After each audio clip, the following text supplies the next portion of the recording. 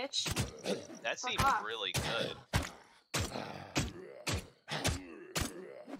Why isn't he dying? Oh my god, beast! Yeah, Holy you, shit. you can have that money.